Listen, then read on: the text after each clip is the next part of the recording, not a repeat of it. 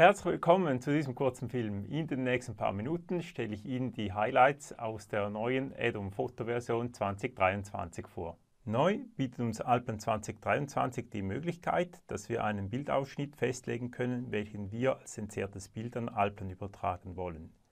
Zusätzlich haben wir eine Optimierung erhalten für Fotoaufnahmen mit starker perspektivischer Verzerrung. Des Weiteren äh, gibt es die Möglichkeit, dass Fotos, welche Fluchtpunkte nahe oder außerhalb des Bildrandes haben, dass auch diese korrekt entzerrt und an Alplan übertragen werden können. Zuletzt bietet uns noch der Expert-Dialog die Möglichkeit, dass wir wählen können, ob wir das ganze Bild übertragen wollen oder nur den gewählten Ausschnitt. Je nach Projektart oder Projektgröße eignet sich neben der Fotogrammetrie auch die Verarbeitung von Drohnendaten oder Punktwolken aus Laserscans. Mehr dazu finden Sie unten in der Videobeschreibung. Wir haben hier ein aktuelles Beispiel von einem Schulgebäude. Sehen schon an diesem Bild, der Fluchtpunkt der liegt sehr, sehr weit rechts außen und die perspektivische Verzerrung ist schon relativ groß in diesem Bild.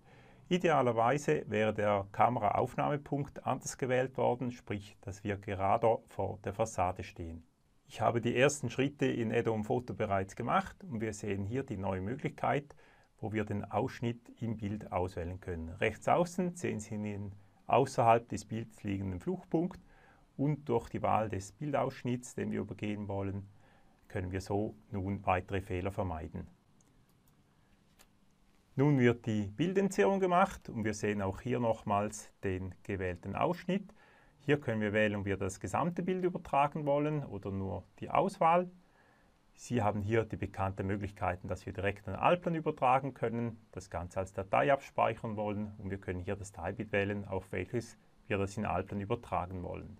Durch Klick ist das erledigt und schon wird das entzerrte Bild an Alplan übergeben können hier noch den Dialog mit OK bestätigen und Add-on Foto beenden. Das entzerrte Fassadenbild können wir nun für klassische Arbeitsschritte nutzen, wie zum Beispiel die Vektorisierung unserer Fassade. Hier noch ein weiterer möglicher Workflow. Ich habe mir die 2D-Fassaden in 3D-Linien gewandelt und wir gehen mal hin und schauen uns mal an, wie man diese in 3D generieren könnte.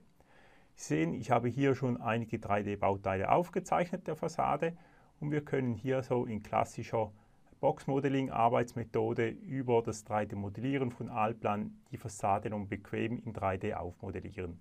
Ich kann hier gewisse Teile zum Beispiel kopieren und spiegeln oder mit der Drücken-Ziehen-Funktion, dem sogenannten Extrudieren Alplan, auch Teile einer Tiefe geben.